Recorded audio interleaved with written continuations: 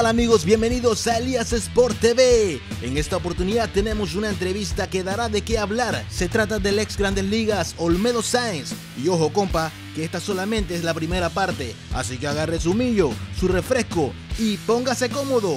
Con ustedes, Don Elías González. Adelante Elías. Bien amigos, ¿qué tal? Bienvenidos a otra entrevista por Elías Sport TV. Hoy tenemos un invitado de lujo, uno de los eh, mejores bateadores que hemos tenido en el béisbol de las grandes ligas, de la Nonal, provincia de Herrera. Olmedo, bienvenido. Olmedo, ¿cómo estás? Eh, muy bien, Elia, gracias a Dios. Eh, gracias que, por estar aquí contigo y de verdad que estoy impresionado y te felicito con este nuevo proyecto porque esto está, esto está a otro nivel. Te felicito. Gracias, gracias. La idea es esa, eh, que nuestro país, que, la nueva generación los conozca a ustedes, que haya un lugar donde puedan entrar, hombre, Olmedo San, yo voy a ver quién fue Olmedo San. Y así, esa, esa es mi idea, dejar algo para que le quede a, las nuevas generaciones. Eh, ¿Cómo se inicia Olmedo como pelotero? ¿Cómo, cómo, cómo empiezas tú como pelotero? Con respecto a mí, yo casualmente esto eh, me acordaba en estos días porque eh, conversando con mi papá, gracias a Dios todavía lo tengo a mi lado, esto, bueno, estábamos hablando y, nos recordábamos una vez que eh, fuimos a un juego en Aguabuena de los Santos. mi papá es de Aguabuena de los Santos. Entonces, estábamos en la casa de medio, muchacho, mis otros hermanos no les gustaba mucho eso. Eh, de vez en cuando. Pero yo sí era virrioso, entonces yo siempre andaba también detrás de mi papá, porque mi papá siempre llevó una, tuvo una vida deportiva muy activa, le gustaba jugar fútbol, le gustaba béisbol, después vino softball, todas esas cosas. Y dice, no, para Buena de los Santos, allá que vamos a jugar. Entre esas figuras, mira, ahí va el eh, difunto de Rodríguez, el todavía que todavía está vivo, con los que está pues Chato Caballero, ya también el desaparecido profesor Kirri Aparicio. Esa gente eran gente muy, fueron gente muy, de, mucho béisbol aquí en la provincia de Herrera. Y entonces ya ellos retirados, entonces hacían esos tours así los domingos, pues. Y nos íbamos para allá y nos fuimos para allá y entonces estábamos en un juego y viendo el juego. Daban unos palos que yo me quedaba impresionado porque la bola a veces la metían entre los palos. Teníamos un centefil que se llamaba Santander Rodríguez ese señor era tan rápido, yo no sé cómo hacía ese metía entre los palos y cogía la bola. Tú sabes esos juegos así de potrero, ¿no? Sí, sí. Una cosa impresionante, o sea, ese era un Mickey Mantle, una cosa de esa extraordinaria. Entonces, en ese juego, yo viendo el juego, esto, estaba pichando Chato Caballero, y como era un juego así, pues de potrero, iba pasando un niño. Chato Caballero siempre tenía un problemita, era bastante descontrolado. Bueno, eh, en ese juego no fue descontrol, sino que fue un foul tip y el niño que estaba pasando en ese momento por atrás de home play le da el foul en la cabeza. Dios mío, eso fue horrible. Yo pensé que el niño lo, se, había, lo había, se había muerto. Bueno, gracias a Dios no pasó a mayores, lo llevaron a urgencia y gracias a Dios no le pasó nada. Pero te menciono esto porque eh, para que vean las raíces más o menos de dónde vienen mis raíces de, de béisbol. mi mamá, sí, chitreana, pero mi papá, mi papá se mudó, se, se, mudó, se mudó muy temprano, se mudó muy temprano, muy jovencito, muy de niño. Mi abuelo se vino a trabajar de, a, la, a la policía de Aguabuena de los Santos y se vinieron para Chitré desde muy niños. Entonces, bueno, ya hicieron su vida acá esto, pero sí tengo sangre santeña y tengo la sangre herrerana. Naciste en Herrera, tú eres cédula 6.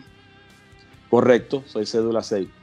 Cédula 6. Y entonces, bueno, ahí ya estaba la sangre eh, de, pelotero. Empiezas, ¿Cómo empiezas a jugar en Herrera? Eh, ¿Cómo te empiezas a jugar la pelota organizada en Herrera? Yo comienzo a jugar eh, eh, yo comienzo a jugar desde que yo estaba en la, escuela primaria. Pero eh, nosotros aquí en el barrio siempre nos ha gustado mucho el fútbol. se jugaba mucho fútbol en el barrio. Y prácticamente el único que jugó béisbol fui yo.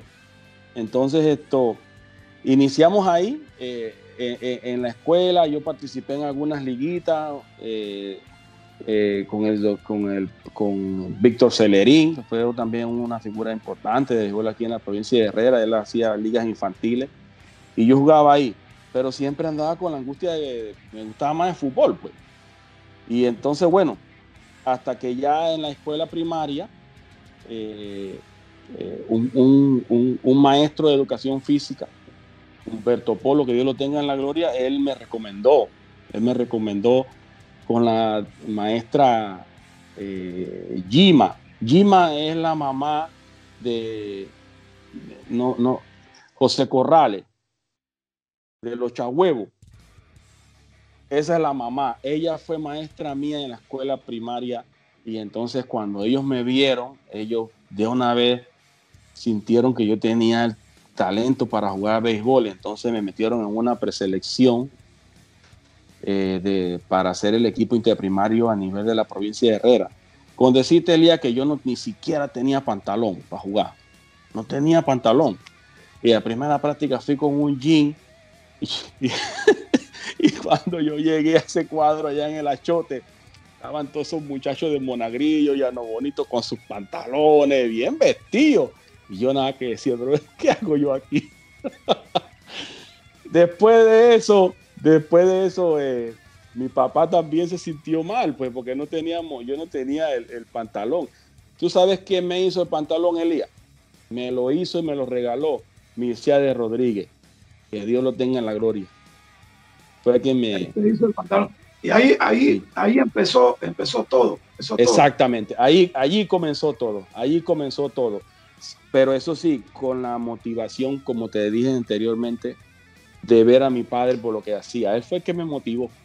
Él fue el que te motivó. Entonces, yo recuerdo cuando yo eh, escucho hablar de Olmedo Sainz por primera vez, fue en, los campeonatos esos que estaba dominando Metro en la categoría juvenil. Tú venías por Herrera y, y entonces sacaron una selección que fueron a Venezuela. Entonces, en mi mente, en mi mente, yo no sabía quién era Olmedo Sainz. Entonces, este, yo veo en la alineación cuarto bate de ese equipo, Olmedo Sainz de Herrera. Y este, ¿de dónde salió? Porque en ese equipo estábamos acostumbrados a Abdiel Cumberbatch, José Murillo III, Reina, Rivelino Hendry, ese lote. Dice Tochi Barrio que él iba en ese equipo también, él venía de, los de los Santos. Eso fue. Así es. 1986, 87, 88. Eso, fue 88. 88. Entonces tú entraste a este equipo eh, y ahí empiezo yo a, hablar, a, a, escuchar hablar de Olmedo. Es más, cuando ustedes llegaron a Panamá, a ti te entrevistan y votaste una expresión muy, muy, muy chitreana y que, bueno, que nos vengan a buscar en el helicóptero chiquito. Eso a mí nunca se me ha olvidado. Una entrevista que te hizo, creo que fue claro, de síntesis deportiva. Tú tienes una memoria impresionante, Elías. Tú tienes una, una memoria impresionante. Así mismo fue. Sí, sí, sí. Yo, ah, yo, me acuerdo de eso. ¿Cómo, ¿Cómo fue eso? ¿Cómo te adaptaste ahí en ese, en ese grupo que venía jugando desde abajo con el equipo de Curundú?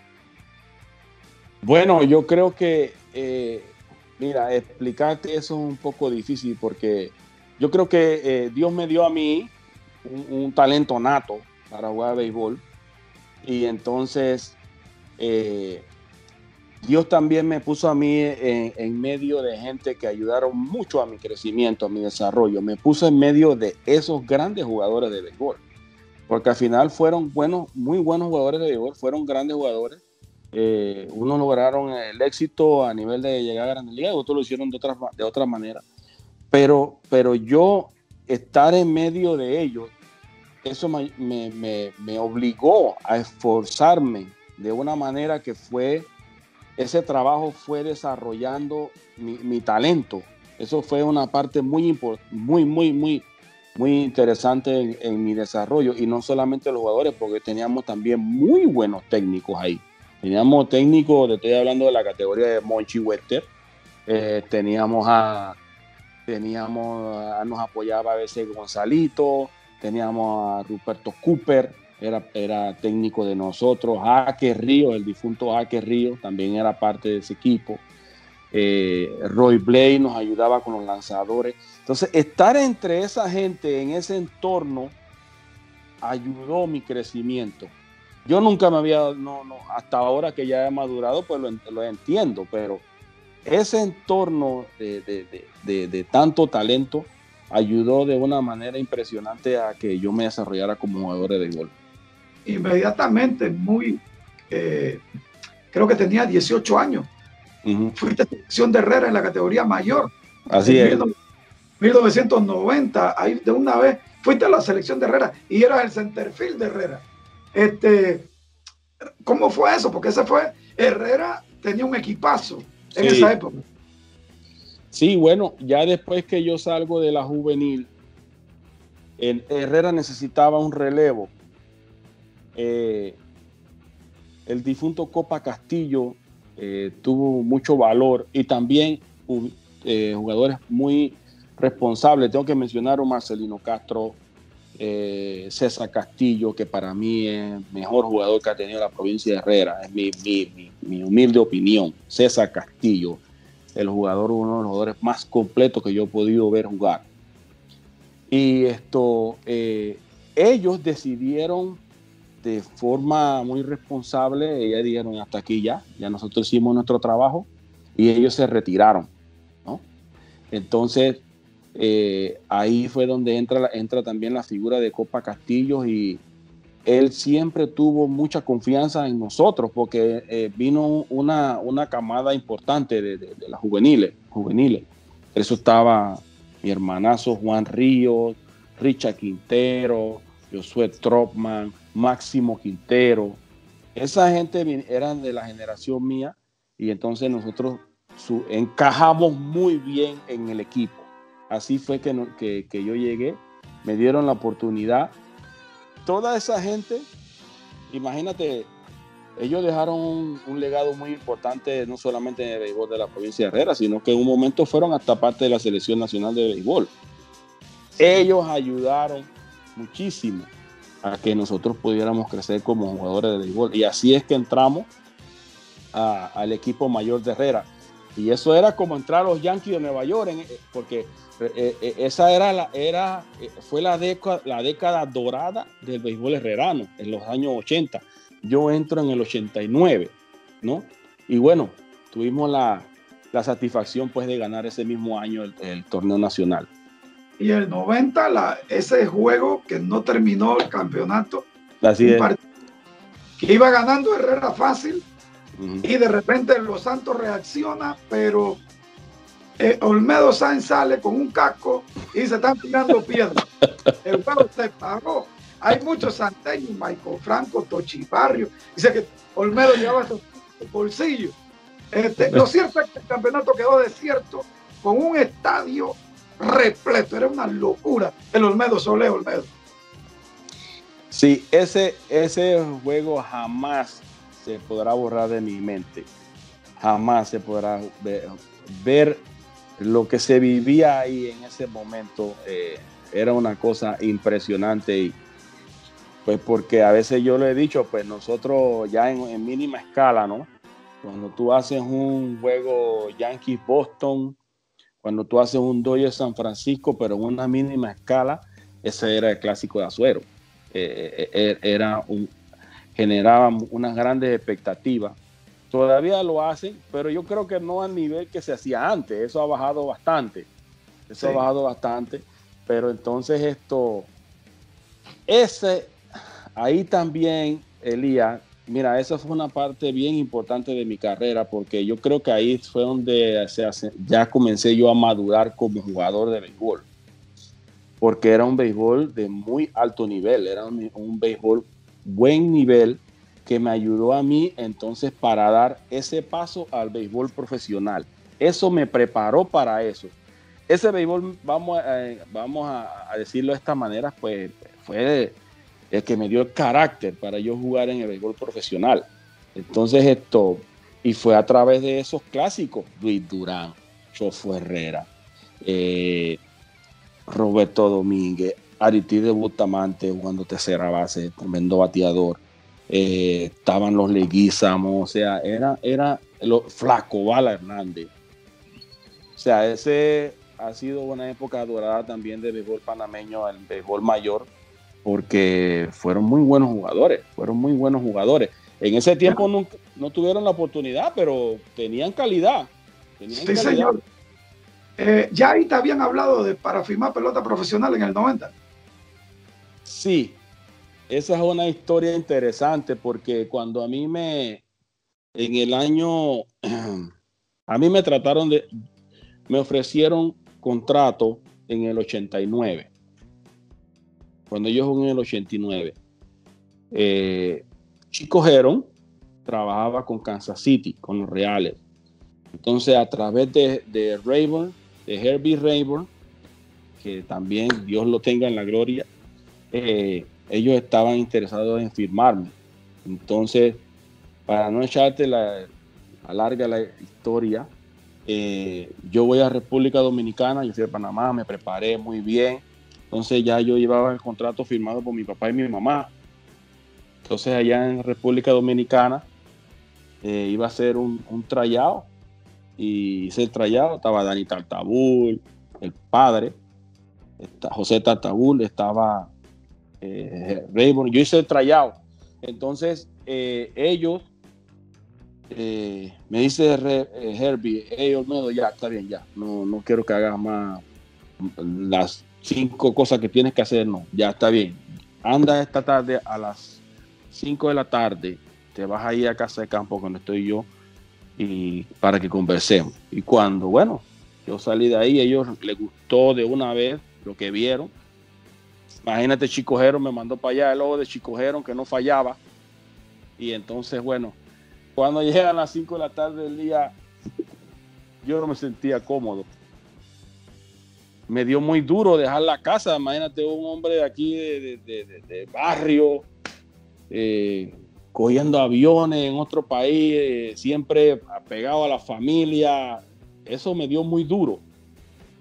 Y yo decidí no firmar. Y se formó un lío acá en mi mamá, mi papá. Pero, ¿qué es lo que está pasando? que Si tú estás, bueno. Y entonces decidí no firmar. Eh, no le gustó a Herbie porque ya teníamos todo hablado. Y entonces, bueno, yo no firmé yo no firmé. Ya entonces fue hasta el año 90 que entonces, pero también fue, ya me ve Miguel Ibarra y también Chico, siempre puso también su mano ahí y me apoyó en eso y porque ya él no me podía firmar porque ya habían perdido la confianza en mí. Y entonces esto lo hago con, con los Media Blancas, con Miguel, y me voy Elías y volví y me regresé. No, no firmaste. Yo fui con los Media Blancas en, el, en, el, en, el 90 y volví, formé un... Pero esta vez sí no fue ya por cosas, ya más o menos tenía una idea de qué es lo que iba a suceder. Pero sí me, me, me, desesperé porque tenía 15 días y espera que, sabes que siempre tiene que haber una aprobación de la oficina del comisionado para que te dejen jugar en la liga y eso y espera y espera. Y yo ahí desesperado y me voy me voy, recogí mis cosas, me vine a Panamá. Cuando, a ver, cuando se dieron cuenta, ya yo estaba en Chitré. ¿Qué pasó? Y me llamó Miguel Ibarra y, y, me llamó todo el mundo, me llamó, pero ¿qué es que lo pasó? ¿Qué pasó? Y bueno, hasta que ya nuevamente acá a nivel de la familia, eh, gente que aprecio mucho y quiero mucho, me, ya me convencieron, dijeron, mira, esa es tu vida, esa es tu carrera, tú tienes un gran futuro ahí. Y eso como que me prendió el foco en ese momento, ¿no? Y sabes qué, yo tengo que yo tengo que tratar esto, porque eh, es verdad, yo no puedo dejar darle la espalda a mucha gente que me han confiado en mí. Y así regresé y bueno, de ahí para adelante ya es resto historia. Ya historia. Eh, y el bono fue bueno. El primero que te ofreció Kansas City era superior al, al que cogiste con los Media Blanca. Sí, sí. Kansas City me estaba ofreciendo como 7 mil dólares, que era ya 7 mil 500 dólares. Media Blanca terminó ofreciéndome 5 mil. 5 mil. O sea que en el relajito perdiste dos mil y pico de dólares. En el relajito me devalué yo mismo por estar con calentura. Y entonces te mandan a Dominicana a jugar en la, en la liga esa de verano o te mandan a Estados Unidos. Sí, yo fui a República Dominicana, pero mi paso en República Dominicana fue rápido. Yo, yo estuve ahí, jugué como prácticamente como dos meses de la liga, me fue muy bien, me fue muy bien en la liga, esto me pude adaptar muy bien. Eh, y entonces ya me mandaron a una liga instruccional, me invitaron a la liga instruccional, allá me dieron a Estados Unidos.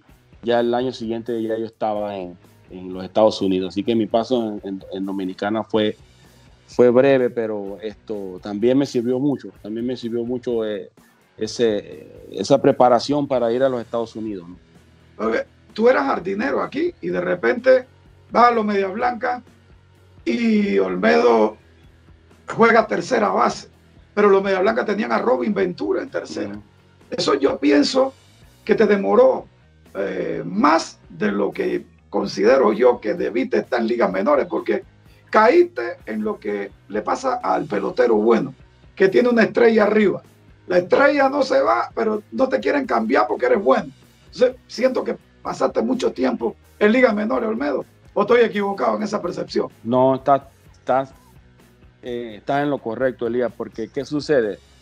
En Dominicana de una vez, eh, el jefe que Juan Ramón Benjar, una persona que estimo muchísimo, sabía muchísimo de bateo, él, él de una vez dijo, mira, este, tú eres un buen bateador, pero tú en los outfields eh, es más difícil, porque hay más outfields, hay más peleas, más, pero en tercera base o menos, yo creo que tú, yo creo que tú puedes lograr eh, llegar a la Grandes Ligas más rápido cuando tercera base. Yo dije, bueno, está bien. Me acordé de Chico Jero. Chico Jero decía, mira, si esa gente allá duermen en el piso, ustedes duermen en el piso. Si ellos comen los platos, no coman los platos, porque por algo hay un gentío de ellos en Grandes Ligas.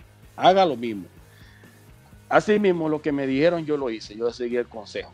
Bueno, yo me voy a los Estados Unidos, pero así mismo, como tú lo mencionas, Elías, eh, hasta ciertos, hace unos años, yo siempre me expresaba de una manera de ah, sí, pues, porque hay gente que me decían, bueno, pero tuviste mala suerte, tuviste, no tuviste las oportunidades y esto que lo otro. Yo siempre lo veía, no, pero no, yo no lo veo así. De verdad que yo estoy satisfecho con, con todo lo que yo pude conseguir. Pero de hace unos años para acá, después que yo vi la película Moneyball, yo entendí mucho del negocio, porque cuando tú estás jugando, tú estás enfocado en tu juego tú no estás enfocado en cosas de negocio, ni de transacciones, ni de movimiento. ¿Y por qué te digo eso?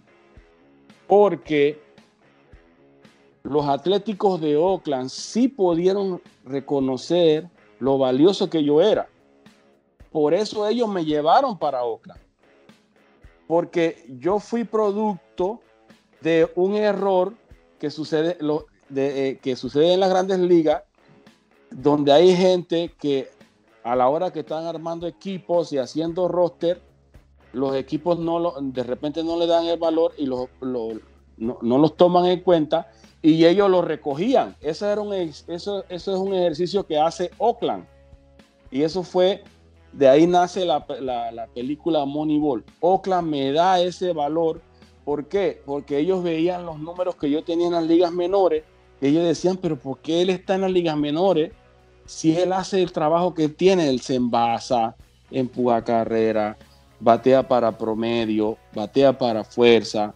Entonces, ofensivamente, yo tenía muy buen slugging, todas esas cosas. Ellos medían todas esas cosas y entonces ellos no entendían por qué yo estaba en la Liga Menor. Ellos aprovecharon esa oportunidad y ahí es donde ellos me, me captan a través de ese sistema y me ponen en el roster de, de, Oakland de 40. Chicago, como tú bien lo explicaste, Chicago me veía como un seguro para ellos. Por si sucedía algo, yo estaba en las ligas menores y por eso me mantuvieron tanto tiempo en las ligas menores para que entonces yo llenara ese espacio. Así mismo como lo explicaste. Se han perdido, se han perdido muchos peloteros buenos. Muchísimos. Muchos, porque no hay forma, no te sueltan. Pero bueno, de todas las organizaciones donde tuviste, Olmedo, ¿fue Oakland la que mejor te sentiste o hubo otra en la que te sentiste eh, mejor? Yo, te, yo, mira, en todas las pasé, me trataron muy bien. pues me gané ese, ese respeto, pero en Oakland me dieron una gran oportunidad. Eh, y Oakland creamos como una familia, porque ¿qué pasó? Oakland te me libera un poco la presión de lo que son las grandes ligas, porque como era un mercado pequeño, o esto, allá Oakland es un mercado pequeño, no teníamos esa presión de que teníamos que salir a ganar todos los días, que teníamos y que teníamos y que teníamos 100 eh, reporteros dentro del camerino. No, Éramos un, equipo de mercado pequeño. Entonces, la mayoría de los muchachos eran, eran, eran jóvenes, eran jóvenes, muchos ni siquiera estaban casados, ya yo estaba casado, ya tenía mi, hijo, mi primer hijo. Y entonces esto, eh, pero eso creó una familia de nosotros de, familia, eh, la pasábamos muy bien dentro del campo, en, el camerino, en los viajes, eh, salíamos a comer. Y, entonces era una relación diferente que teníamos hasta que fuimos haciendo una fuerza importante en la Liga Americana y competimos con, con ese mercado pequeño, competimos como equipos como los Yankees de Nueva York. Entonces ya las cosas fueron cambiando pero definitivamente me ayudó mucho a entender el concepto de las grandes ligas, ¿no? De lo que es las grandes ligas, me dio la oportunidad a través de un mercado como el de Oakland, pues una organización como el de Oakland, y no como una organización de los Yankees o una organización como la de los Dodgers, que esa gente cuando tú llegas ahí, el objetivo de ellos es ganar o ganar. Sí, sí, ahí. Bueno, en medio de esa eh, brillante carrera que tuviste, lo considero así, más una vez en una serie mundial estábamos eh, transmitiendo con Eric. Estaba por ahí el Manny Mota padre y el hijo de Manny Mota. Cuando es eh, el, padre de, del que es comentarista, el, viejo, supo que nosotros éramos panameños, él llegó, nosotros estábamos. Que es de Olmedo, parece que mm. hizo muy buena amistad contigo, porque tú hiciste en, una etapa de tu carrera, quizás el trabajo que Manny Mota hizo, venir de la banca como emergente. Así me dice, yo tengo un respeto muy grande a ese panameño. Debe ser por eso también, Olmedo.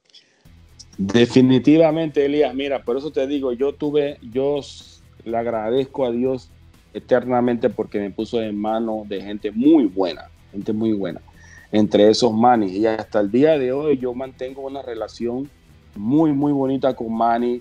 Él me llama, yo lo llamo, eh, eh, yo, yo, le tengo un gran respeto, pero así como, como, él te lo, como él te lo dijo, él entendía el trabajo que yo tenía que hacer y lo difícil que era hacer ese trabajo. Que eso por un lado a mí me hizo daño. O sea, por un lado eh, me afectó en el sentido de que a mí me etiquetaron como el jugador que podía hacer eso el jugador que necesitaba el equipo de vez en cuando, jugar dos, o tres días a la semana, pero era ese jugador que cuando ah, eh, habían situaciones importantes salía del banco a batear, entonces yo lo hacía bien, entonces por un lado hacía bien mi trabajo, pero por el otro lado me afectaba mi tiempo de juego, ¿no? Entonces, es, pero así es la pelota y, y yo no, no tengo que, no reprocho eso pero, pero sí creamos una amistad muy bonita con Manny. Manny es una persona muy, muy respetada en el mundo de béisbol. Olmedo, tú bateaste muchos honrones en grandes ligas, le bateaste a grandes lanzadores, pero hoy yo decía en el programa, yo recuerdo un honrón que eh, Olmedo le pegó a Roger Clemens en Yankee Stadium. Y recuerdo lo que no estoy seguro es si se lo pegó a Mariano o no, y la gente me cayó de una vez en pandilla a Mariano también. ¿Te acuerdas de eso? De esos momentos. Sí, sí, cómo no, imagínate, Salón de la Fama, eh, lo que representa Mariano hoy, o sea, el nivel, ya a nivel de Salón de la Fama, lo que ha hecho Mariano es una, una, una cosa sumamente grande, ¿no? Lo que, lo que es Mariano Rivera en el mundo de béisbol. Y otro pitcher como Roger Clemens, que tiene todos los méritos para estar en el Salón de la Fama. Entonces, eh, pero bueno, por cuestiones ya que todos conocen, no él está en, la, en el Salón de la Fama, pero esto para mí eso eh, eh, es, es, algo que me llena de mucha satisfacción porque cuando le cuento por lo menos a mi familia, ya mi nieto, ya tengo un nieto, ya comenzó a crecer y cosas que vivo con mis hijos y con mis amistades, esto son momentos bonitos que uno vive de la vida, Elías, cuando uno comenta estas cosas de experiencia que uno tuvo con jugadores de tan gran magnitud, tan grande. Entonces esto, y en el Yankee Stadium, un Yankee Stadium que eh, repleto, playoff, eh, no, de verdad que eso es, eso es para contarlo toda mi vida, ¿no? Y eh, cada vez que recuerdo esos momentos. No, sí, aquí la mentalidad no es más nada que ganar. Eh, aquí no hay tiempo para perder esto. Y la organización me gusta, me han tratado bien hasta el momento, no, puedo, no me puedo quejar, así que yo creo que es un, un, es un tremendo equipo. ¿En qué momento te diste cuenta que tenías que retirarte del béisbol? ¿Qué, qué, ¿qué ¿Qué, ¿Qué te llevó a esa conclusión? Sí, ya fue en el eh, cuando voy al campo de entrenamiento con los Mets, ya ese año se me dificultó conseguir contrato. Eh, inclusive ya había iniciado el ya el entrenamiento de Grandes Ligas había iniciado cuando yo llegué, firmé tarde, llegué al campo de entrenamiento, entonces ya fui sintiendo, digo, ya como que ya está llegando el momento, Y bueno, fue ahí que eh, en ese año, en el 2000, 2007, 2007, 2007, 2008, 2008, que yo decidí pues eh, dejar de jugar béisbol. Pero yo siempre, yo siempre me, me había propuesto algo el día. Yo, yo siempre dije, el día que yo amanezca, que yo me levante de la cama y yo sienta que ya me da, pienso ir al, campo, que ya me duele el cuerpo, que me duele esto, que lo otro, y ya comienzo a, ver todas esas cosas, el juego de esa manera, ese día me retiro. No voy a ir para ninguna liga menor, ah, no, no, no. Ese día yo no juego más béisbol. Porque el juego, uno como profesional, tiene un, un, compromiso, tiene un trabajo que hacer. Y si tú no das 100% que te sientes bien, 100% contigo mismo, difícilmente lo vas a hacer. Entonces, yo no quería, no quería incomodar a nadie ni hacerle la vida imposible a nadie, así que bueno, ya llegó mi momento y bueno, así fue que decidí retirarme. Y hoy día yo te veo tranquilo, eh, económicamente estás bien, estás resuelto totalmente, Olmedo, él siente ya que cumpliste en ese aspecto de tu vida, ya eh, con tu familia, con tus hijos, ya esa preocupación que uno tiene eh, bueno, que hay que trabajar día a día. Olmedo lo hizo en ese periodo de pelotero profesional. Bueno, sí, yo dediqué toda, gran parte de mi vida, toda mi juventud, toda mi juventud la dediqué a eso. Gracias a Dios esto, estoy viviendo pues de esos esfuerzos, de esos sacrificios. Pero sí no siento que todavía he terminado. Yo creo que todavía tengo cosas que hacer. Eh, y, yo lo veo de esa manera, Elías, porque algo tiene que motivarte a seguir todos los días adelante. Tampoco podemos eh, eh, sentarnos y comenzar a mirar para el cielo y esperar que todo se acabe. No, yo creo que todavía tengo cosas que conseguir. Quiero ver a mi hija graduarse, que sea una profesional ya en la universidad y todas esas cosas, que sea está estudiando. también esto quiero ver a mi nieto crecer quiero esto, eh, eh, tengo, quiero ayudar a los muchachos a, seguir adelante de la manera que pueda. Siempre estoy buscando la manera, consultando con los muchachos y compartimos ideas y, en lo que pueda participar participo y, ayudo.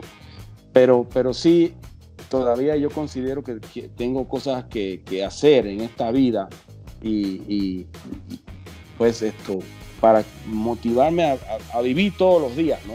Y te digo algo. Es, importante. Yo, yo lo que decía era, eh, eh, ya, por, como quien dice, me he hecho fresco, pero sé que tienes un negocio en Pedací, tienes un, hotel en Pedací, este, y lo maneja tu hijo. Tu hijo no quiso seguir jugando pelota, también fue pelotero. Eh, Olmedo. Sí, mi hijo, bueno, eh, decidió pues que no, que el béisbol no era para él y entonces ya estudió y él es que se carga de lo que tenemos allá en Pedací. Por ese lado sí estoy, estoy tranquilo, estoy tranquilo. Eh, ya gracias a Dios esto, yo también vivo, tengo una, una jubilación con, con, Grandes Ligas, eso me da a mí cierta comodidad, cierto confort y esto, por ese lado, por, por la parte económica me siento bastante tranquilo, eh, ¿no? Siempre he tratado de manejar las cosas de la mejor manera, eh, no, no volverme loco porque el dinero se acaba el día y no vuelve. y, entonces trato de vivir una vida tranquila, una vida eh, sin excesos, ¿no? Y me gusta la fiesta, me gustan los tragos y disfruto con la gente y todas esas cosas, pero por ese lado sí siento eh, esa tranquilidad conmigo mismo, me siento esa paz y igual que mi esposa, pues que ya sentimos que hemos hecho una gran parte de ese trabajo de sacar a nuestra familia adelante. Y, y sí me siento satisfecho, Elías, sí me siento satisfecho de todo lo que he conseguido en mi vida por ese lado. Qué, qué, qué buen comentario, Olmedo, y eso yo quiero quedarme con eso, pero esta parte que hemos conversado hoy, quizás mucha gente no la conoce, algunas anécdotas que nos has contado, y queda ahí para que la gente sepa quién es Olmedo Sainz. Qué gran historia la de Olmedo. Pero esto no acaba aquí, compa. Aún falta la segunda parte de esta gran entrevista. Usted suscríbase y no se pierda ningún detalle. Y recuerde, esto es Elías Sport TV.